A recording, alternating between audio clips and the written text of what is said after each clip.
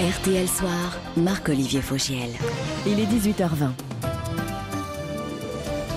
Premier invité d'RTL Soir, l'avocat donc de la veuve de Jean-Luc Delarue. Maître Francis Spiner, bonsoir. Bonsoir.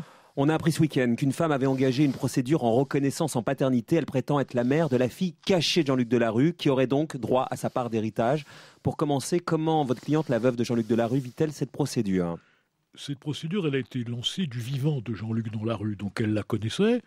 C'est Jean-Luc Delarue qui la traitait, et d'ailleurs en, en, s'indignant parce qu'il voyait une gamine en train d'être conditionnée par sa mère.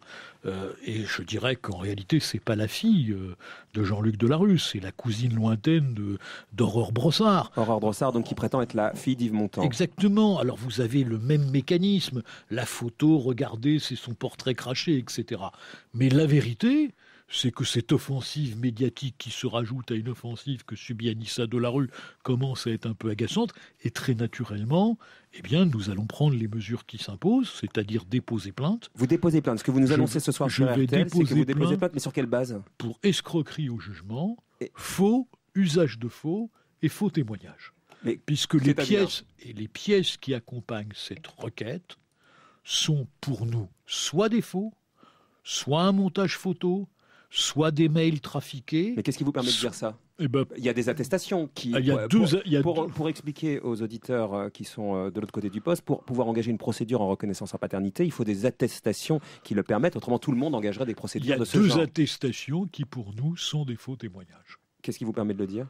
Écoutez, ça, je le réserve au procureur de la République, mais déjà pour une des attestations, je crois savoir qu'une des personnes s'est rétractée.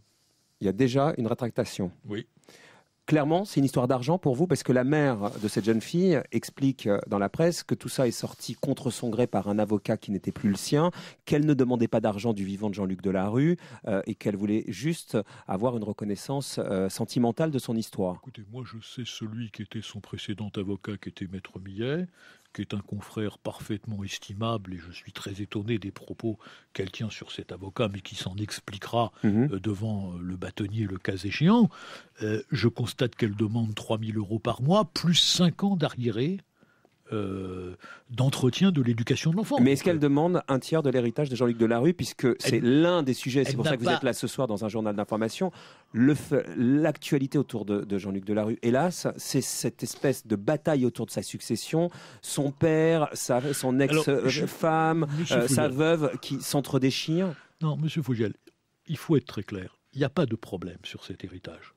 Jean-Luc Delarue, qui était pleinement conscient de ce qu'il faisait, malgré sa maladie, a eu des volontés et un testament très clairs. Et il a voulu et protéger sa femme, Anissa, dont je voudrais tout de même rappeler qu'elle a vécu avec un homme malade et qu'elle a souffert avec lui, qu'elle est veuve et qu'on pourrait peut-être l'aménager. Et je suis un peu scandalisé euh, de cette insinuation sous-jacente. C'est la petite beurette qui euh, a mis la main, le grappin sur un homme physiquement diminué, qu'elle aurait même converti à l'islam, qu'elle aurait enterré euh, contre son gré dans le carré musulman pour prendre l'argent et dépouiller un petit enfant sans défense. Tout ça est répugnant et scandaleux.